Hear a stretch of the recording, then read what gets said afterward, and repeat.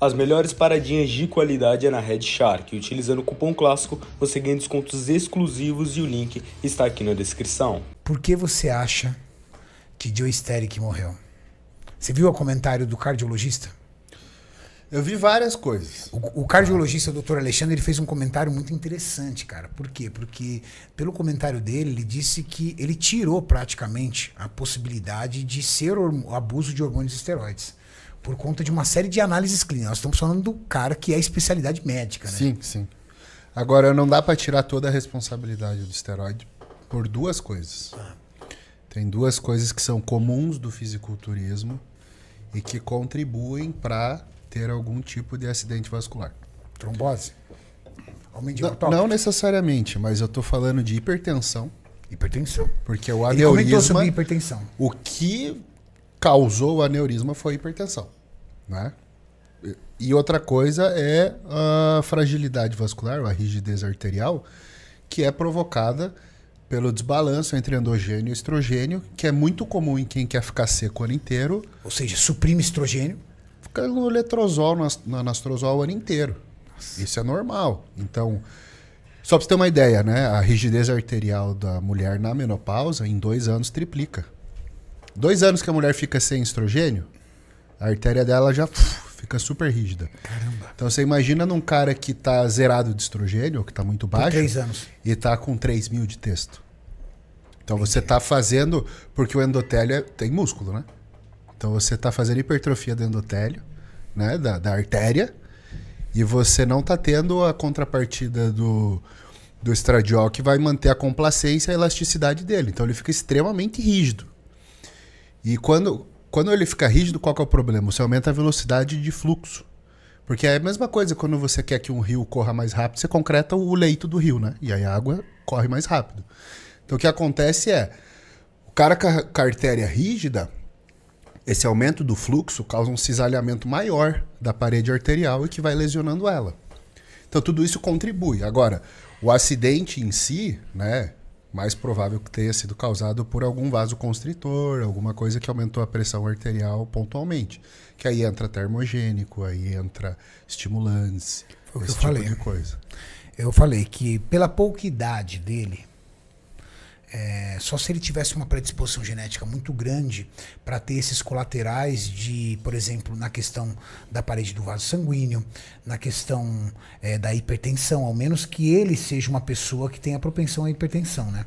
Mas é muito bom, Cami, que você disse, sabe por quê? Porque muitos atletas, vamos levar em conta os atletas, eles negligenciam o acompanhamento da, da, da da, da questão de analisar como é que está a sua pressão arterial, para saber como é que está a sua, a sua parte. E é tão fácil, né, cara? Não, a pressão, todo, todo usuário de hormônio ele deveria aferir pressão.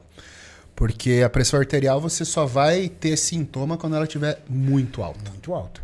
E aí você já está há alguns anos com hipertensão quando começa a dar dor na nuca.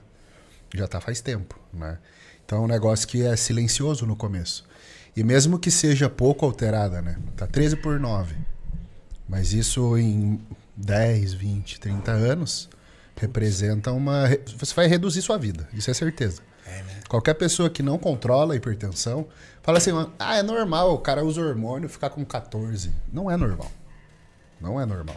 Você está fazendo uma força a mais aí no teu sistema cardiovascular. E isso lá na frente pode resultar em acidentes vasculares. Então pode ter um aneurisma cerebral, você pode ter AVC, você pode ter infarto, você pode ter muita coisa séria e pode ter uma falência renal por causa de hipertensão. E rim não tem volta, né? Perdeu, perdeu. Perdeu, perdeu.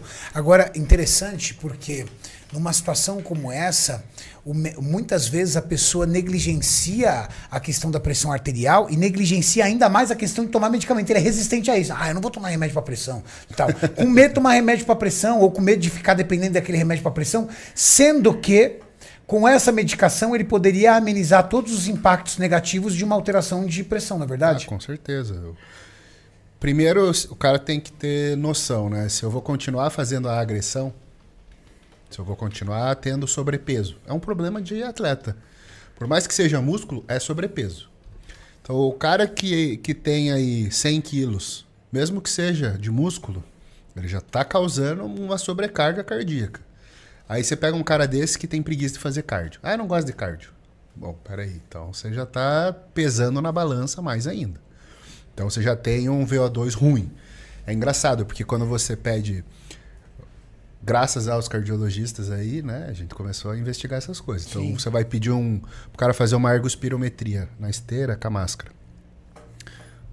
Quem treina, você espera que seja melhor do que um sedentário. Né? Tem um preparo melhor do que um sedentário. Então a expectativa no exame é que ele bata lá 120% do normal de VO2.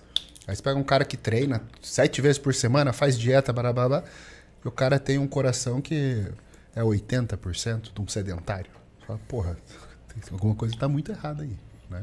E geralmente é por causa disso. É um cara que não faz cardio, tem sobrepeso, mesmo que seja de músculo, e uma hipertensão arterial junto. Caramba, Kaminsky, ainda falando sobre o aneurisma, tu acha que os esteroides anabolizantes eles têm uma relação com o aneurisma é, muito mais na formação do aneurisma ou no rompimento do aneurisma? Explica pra galera o que que é um aneurisma, pra galera que não sabe o que é. Pra quem não sabe, inclusive, quem a causa já deu morte de do Joe Static. Com, com o pneu em alguma coisa, fez a bolinha do lado, é aquela bolha do lado. É uma meio que uma é, entre aspas uma hérniazinha, né? É. Então você tem aqui, você tem a veia aqui, né, a artéria, e do lado você tem, você tem um rompimento da parede, começa a extravasar sangue, você faz uma bolha aqui do lado, né? Pode chamar de saco. Essa bolha, ela fica. é- é- ela ainda tem uma membrana, mas muito frágil, que a Muito qualquer momento frágil. pode romper. Agora, Tem gente que coisa- passa a vida toda com aneurisma, né? Isso, uma coisa importante a gente salientar é o aneurisma que surge, é, o aneurisma que, digamos assim, a pessoa que nasceu, que tem uma má formação, dificilmente isso rompe.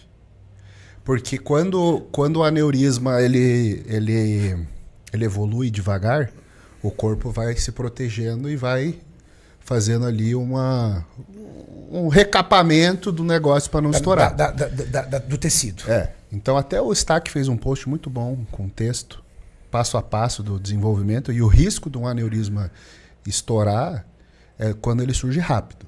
Né? E o que faz surgir rápido é pico de hipertensão. Entendi. E geralmente esse é o tipo de coisa que dá para uma pessoa jovem é cocaína, mano. É. Você vê, você chega no hospital, você vai ver pessoas que estão tendo doenças cardiovasculares comuns de acontecer depois dos 70. O cara ter isso antes do 30 é estimulante. É droga de festa. Pode ser o uso de, de clenbuterol, pode ser o uso de qualquer desses. Porque todo estimulante ele é vasoconstritor. T3, T4. Isso. E Acelera muito a frequência cardíaca. acelera a frequência cardíaca, a força que o coração bate, né? Então fica aquele bum, bum, bum, que o cara sente o peito. E ainda por cima a hipertensão. Então você combina tudo isso, né? Só que para mim a, a contribuição do esteroide, ela vem mais dessa questão da rigidez arterial. Porque isso facilita com que o vaso rompa e cause o aneurisma. Então, e a rigidez arterial vem de um estradiol baixo. Estradiol baixo é complicado, cara, né? Como é que pode, né? É complicado porque eu vejo na preparação da maioria dos atletas eles fazendo administração às cegas, né? Às cegas, Às totalmente. cegas. Cegas. Protocolo engessado. É. Um miligrama de anastrozol por dia. Ou, aí, ou o cara usa é, letrozol três vezes por semana. Ou o cara, uma vez, baixou a ginecomastia dele com aquilo, ele gostou, ele usa hexamestano. É. E protocolo engessado, sem ter noção como é que tá o estradiol dele, como é que tá... Vou contar uma história bem de marombeiro, deve ter bastante marombeiro assistindo a gente, eles adoram história de marombeiro.